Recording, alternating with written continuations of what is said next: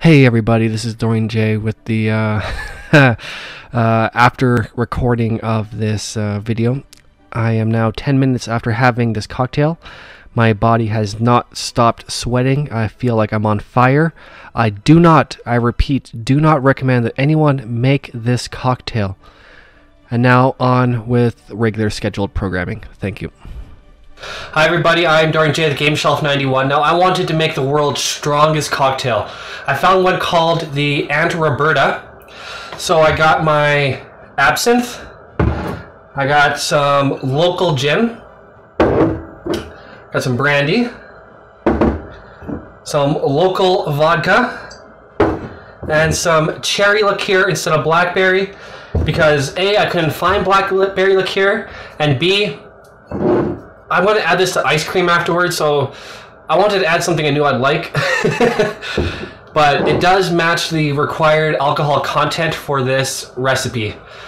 And, um, well, let's get making it. All right, everybody. So here's what we're gonna do to make the Aunt Roberta. And um, I'm sorry about the audio. I actually had to redub this afterwards. so what we want here is uh, one shot blackberry liqueur, two shots herbal liqueur, three shots of vodka, one and a half shots of gin, and one shot of brandy. It's very important, uh, at least according to this recipe, that uh, vodka get the main amount, even though you don't taste it in the recipe. Now, this cherry liqueur, it does match its strength that is recommended. So that's very important to this recipe because I didn't want you guys to think that I cheated and chose uh, lighter liqueur. Now, I did try to choose local when I could, but uh, unfortunately, stuff like this brandy right here, it is not very much available in Alberta, where I'm from, as you can see from my Alberta vodka in the back there. Now the next thing here, I'm using the Alberta vodka. I like to support local when I can. I recommend, especially during times like this with the coof going on, that you support local too.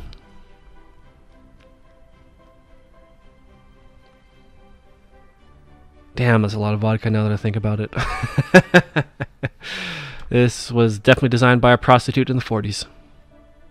Now, this absinthe actually came right from France, and no, it is not the uh, hallucinogenic version.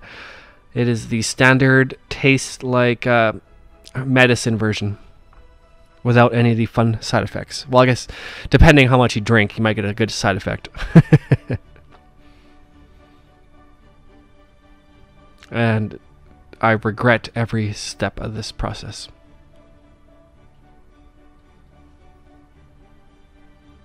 Now this gin, I chose this gin because I like to support local once again. I hope you guys do too. But the side effect was this one actually tastes like pine needles. Very much a pine. So you have absinthe and pine and uh, cherry liqueur going into this. Luckily the vodka is a neutral spirit.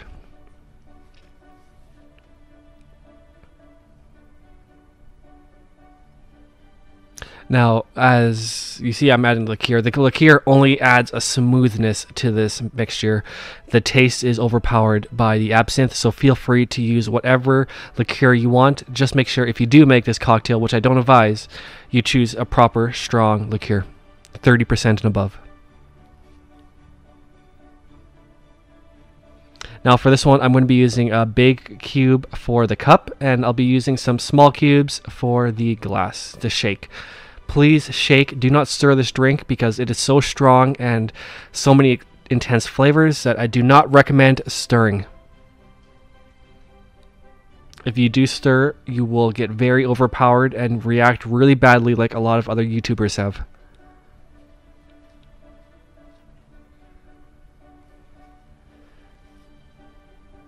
I recommend shaking it at least for 15 seconds, if not more.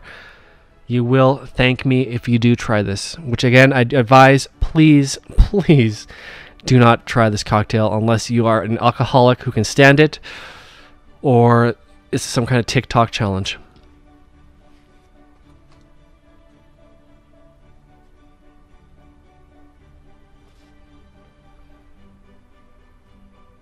And you will notice after I strain this, it actually looks like a standard cocktail. It looks very enjoyable.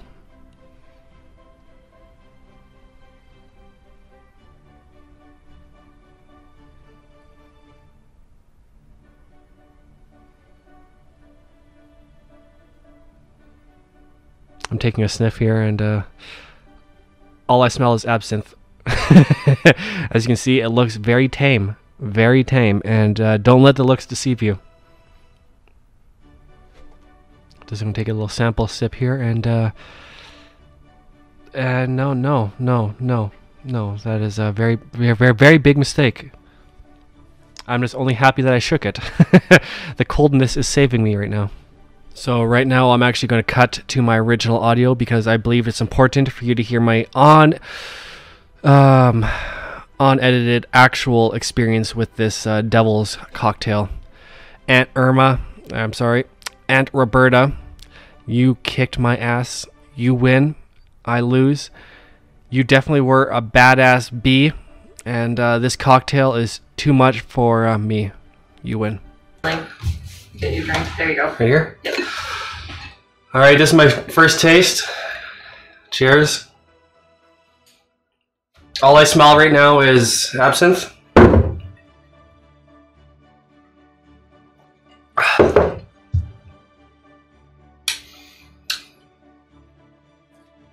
Whew. All right, so um, I taste 99% absinthe, about 2% the pine um, alpine dry gin. I don't taste any brandy. I don't taste any vodka. And I only get the smoothness from this. I don't get any taste. So, uh, would I make this again? No. Unless I want to get drunk. but even then, please, for the love of God, shake it, do not stir it. I'm Dorian Jay with Game Shelf 91. Have a good one. Yeah.